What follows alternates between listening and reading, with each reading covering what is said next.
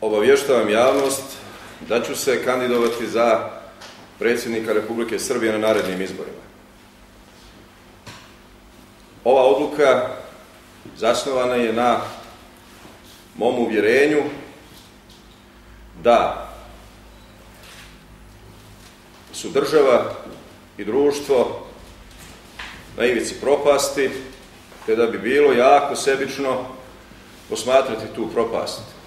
Ja želim ponuditi građanima Srbije program spasa, program koji će biti prihvatljiv za sve građane, koji će moći da biraju između mog programa i programa ostalih kandidata. Uvjeren sam da ću imati potpuno autentičan program koji podrazumijeva sveopći preporod države i društva i koji će biti uvjerljiv za sve građane, a posebno glasače koji e, će prepoznati kvalitet tog programa. Ima li pitanje? Izvolite. Živimović iz RTS, otkuda takva odluka sada, nismo očekivali to od vas. I da li ćete i dalje se baviti samo verom ili ćete sad ući definitivno? Nakon što budem izabran za predsjednika, svakako da u tom slučaju e, funkcija predsjednika Republike i e, pozicije na kojoj sam sada e, glavnog muftije neće biti spojiva i podrazumijeva se da u tom slučaju ću se povući sa aktualne pozicije. Moja odluka nije neočekivana za, neočekivana za one koji su me pažljivo pratili i moje nastupe i moje cjelokupno djelovanje.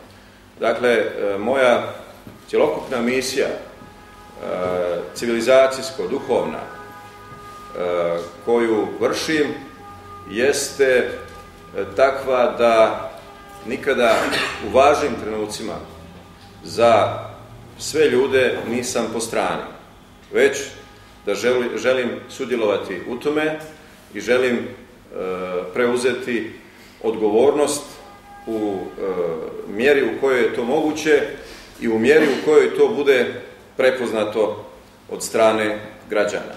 Dakle, jako bi bilo sebično, jako bi bilo čak i, i ovaj, nekorektno sa moje strane e, u ovakvoj poziciji kada imate jako blijede programe, jako blijedu retoriku skoro svih politika i svih e, kandidata koji se najavljuju, koji pričaju skoro identičnu priču samo sa blagim varijacijama retoričke prirode, e, imati najkvalitetniji program, a ovaj, sakriti ga od javnosti.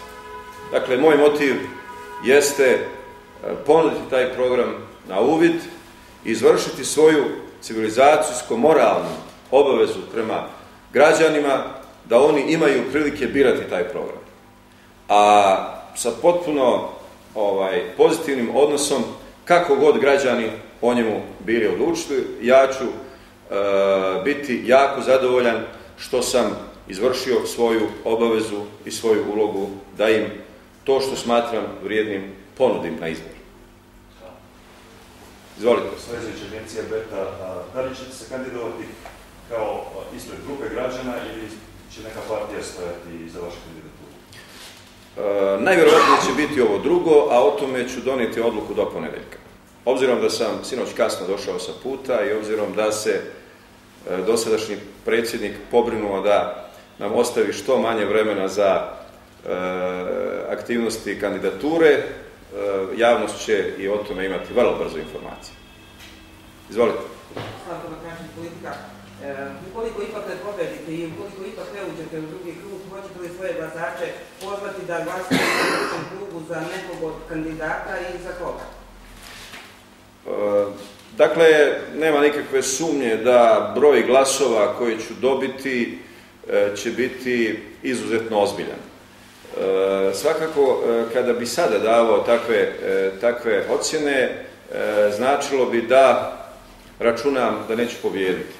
Zato ću e, vas, dakle, poštediti preciznog odgovora, zato što ovih 20 godina u kojima djelujem uvijek, uvijek računam na pobjedu. E, iako je pobjeda vrlo relativna stvar, šta sve znači pobjeda.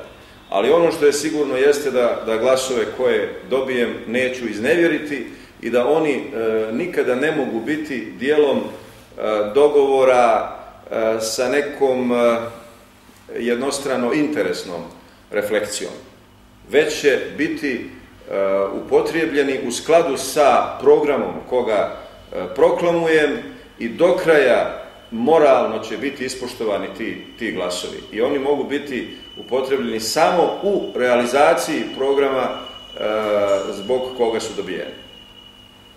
Izvolite. Uvažena Novosav danas, šta ćete građanima Srbije da ponudite? Sanđačku ili probeogradsku opciju kao predsjednik? E, u ovom slučaju ni jedno ni drugo. Cjelovit program prihvatljiv i za Sanđak i za Srbiju.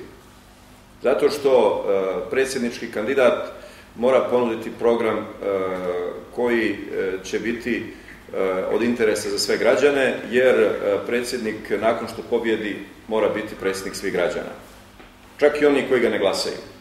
Prema tome, moj program predsjedničkog kandidata će biti potpuno lišen dosadašnjih refleksija dnevno političke problematike.